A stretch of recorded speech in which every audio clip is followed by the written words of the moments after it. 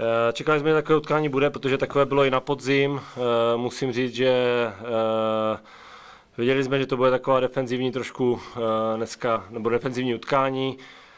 Myslím si, že těžko jsme se tam dostávali, nefungovalo nám úplně úplně z lehkostí ten přechod do toho útoku a, a pak, když jsme se tam dostali, tak jsme nedali kvalitní centr a, a nepovedlo se to úplně e, dobře dneska.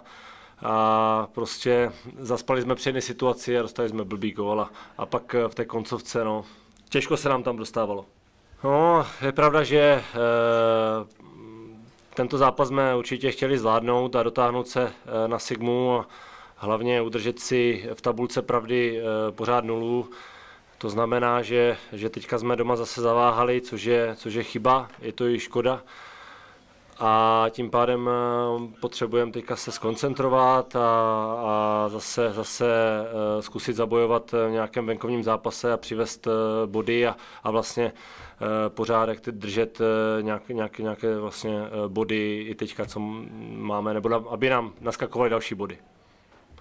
Tak samozřejmě nám to šlo teďka na té Spartě, dostal šanci jiný hráč, Kuba Janecký a, a prostě bohužel eh, nám to dneska eh, tolik neklapalo, jak, jak třeba minulé zápasy.